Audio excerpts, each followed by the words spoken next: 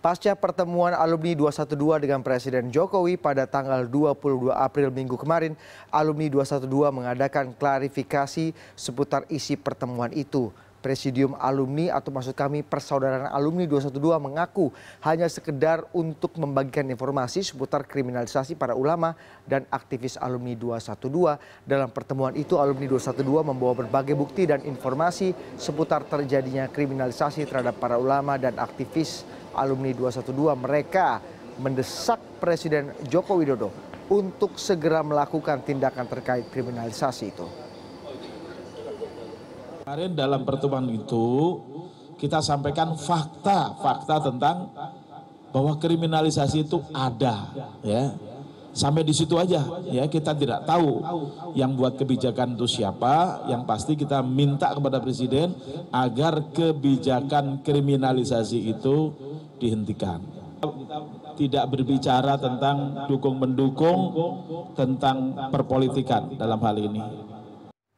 Kendati mengatakan tidak ada yang mengundang dan juga diundang, namun persaudaraan alumni 212 mengakui bahwa mereka lah yang menginisiasi pertemuan antara para ulama PA 212 dengan Presiden Joko Widodo. Hal ini diungkapkan Ketua Umum Parmusi Usama Hisham yang juga merupakan bagian dari persaudaraan alumni 212 dalam jumpa pers persaudaraan alumni 212 terkait pertemuan mereka dengan Presiden Jokowi hari Minggu yang lalu.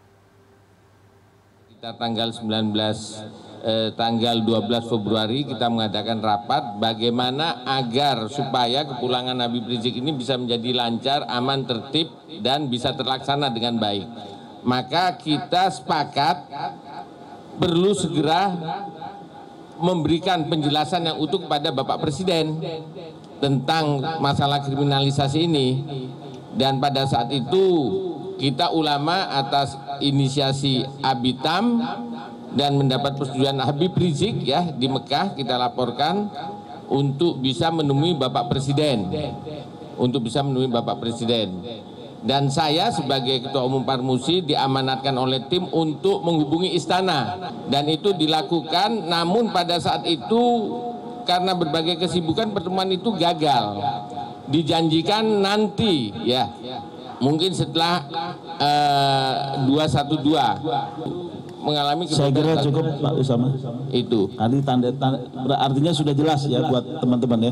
Ah sedikit supaya tuntas Ustadz. Dan tim kecil itu sudah berkaji kemudian malam hari saya dapat kontak dari pihak istana disiapkan waktu hari Minggu